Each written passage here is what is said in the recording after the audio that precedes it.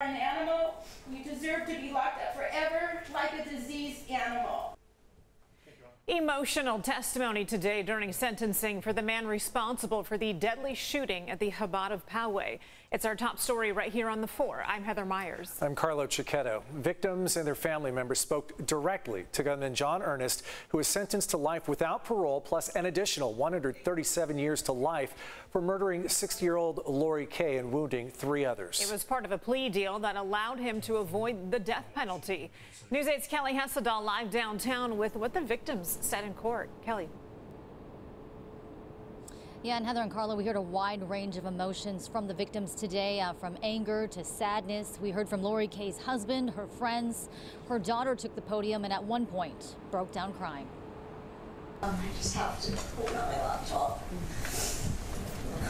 You do whatever you need to do, okay? Just take your time.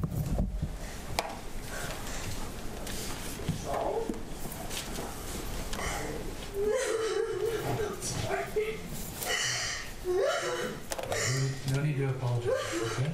Just take your time. And Lori Kaye's daughter, Hannah, gave an impassioned speech. She described the last moments uh, she had with her mother the day she was killed back in April of 2019. The last time they hugged, the last time they said, I love you, which all took place just hours before the shooting. She describes her mom as her soulmate, her best friend. Here's what she said she felt as the gunfire rang out.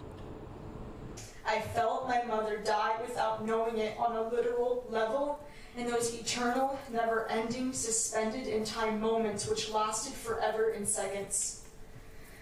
When the shots ceased to be, and I soon entered the hallway and witnessed the scene of utter, unfathomable shock and chaos, I died with my mother in spirit. Witnessing my father try to revive my mother and fail, not only as her husband, but as a doctor of 40 plus years, was a colossal tragedy in itself, for she died instantly. I sat next to my mother.